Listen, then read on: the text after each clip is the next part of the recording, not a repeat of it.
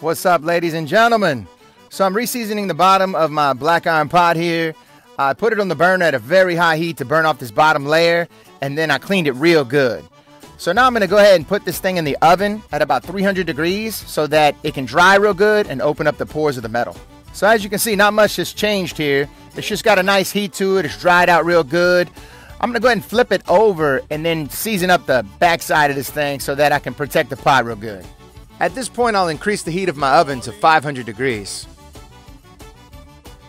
So I'm using a vegetable shortening. I actually learned this from my boy, the Flat Top King. If you haven't heard of Flat Top King, go check him out. YouTube, Facebook. Dude's awesome. So the shortening's melting right away because this pot is hot. And I'm just rubbing it down. I'm getting every crevice of this thing, all around the curves of the legs, all around the bottom. And of course, eventually I'll go, go up these legs as well and make sure I get every part of this pot so that way whenever I do put it in the oven again to polymerize it, everything's gonna seal real good. Just keep on wiping this down. And there you go, ladies and gentlemen. I have wiped down every bit of the bottom and side of this pot. I've gotten the legs really good. So now I'm gonna go ahead and flip it back over and I'll do the inside of this pot. All right, so once again, we have our vegetable shortening. We're gonna go ahead and rub the bottom of the pot here. And as you can see right away, it's melting because the pot is still hot. Now you really want to take your time with this. This is not a process you need to rush. We don't need to wipe this thing down real quick. We're not picking up dishes here, all right?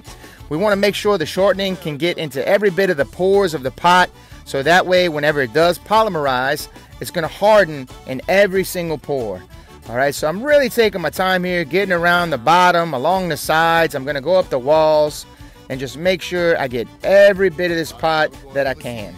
At the same time, too, I'm to go back over all my areas because I want a thin layer of this shortening. I don't want this to puddle up anywhere. I want it to be a nice thin layer so that way it is all coated evenly.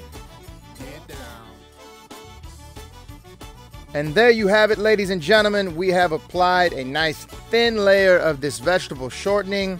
We've gone over it a few times here, so it's all smooth. I've gotten all the edges, the sides. It looks beautiful. Now I'm gonna get this thing in the oven.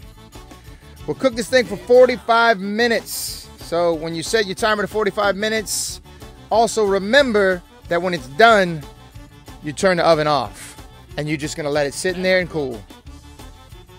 After a couple hours, when the pot is finally cooled down, you can go ahead and remove it from the oven. And just like that, ladies and gentlemen, our pot is seasoned. That vegetable shortening has polymerized to the pot, leaving a nice non-stick coated surface. That greasy look you saw earlier is no longer there. Look, rub my fingers on it, and as you can see, there's nothing on my fingers here. It has completely hardened. Even the outside looks beautiful.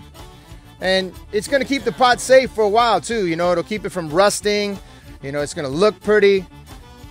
And you can cook whatever you want. Like this beautiful pastalaya. Ain't no Tom, Dick, or Rhett gonna tell me otherwise. Pastalaya is delicious. Cook what you want, ladies and gentlemen. Enjoy. The whole world.